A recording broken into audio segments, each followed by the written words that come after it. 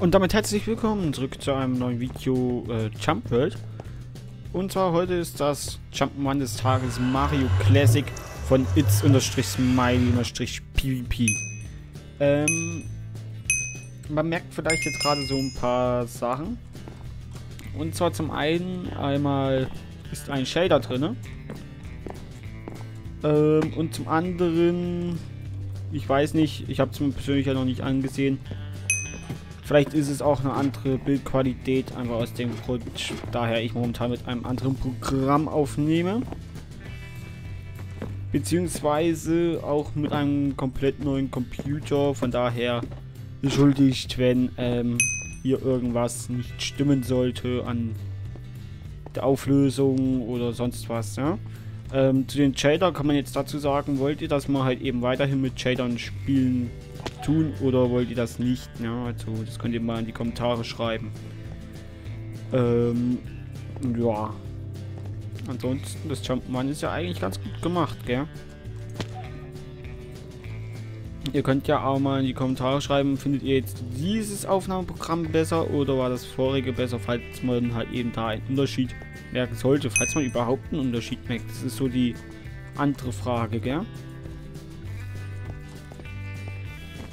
So, da haben wir unseren Yoshi. Da unten stande noch was. So. So.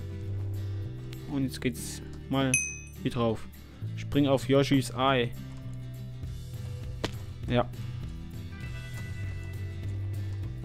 So, also das äh, ganze Jumpman erinnert mich ja ein bisschen an alte Nintendo-Zeiten.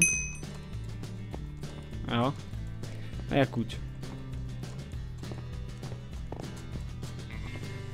So, zack. Zack. Also ich weiß ja jetzt nicht, wie viel man dann nach der Bearbeitung hier noch sieht in diesem Ding, aber man sollte es noch ganz gut erkennen. Ach, jetzt sind wir aber weit zurückgeportet worden hier. So. Aber die Idee hiervon ist eigentlich sehr gut, gell? Also da kann man wirklich nichts dagegen sagen.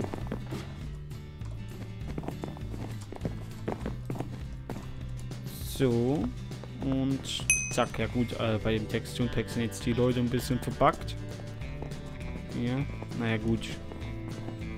Dann müssen wir nochmal sehen, dass wir ein anderes Texturenpack reinbekommen oder dass ich wieder mein anderes reinbekomme, was ich vorher hatte.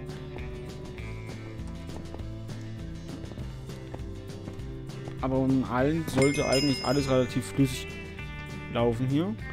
Und von der Kreativität war es sehr gut, von den Sprüngen war es auch sehr gut und von der Optik auch, ja. Also das muss man einfach mal so sagen. Ja, ansonsten dann bis zum nächsten Mal und tschüss.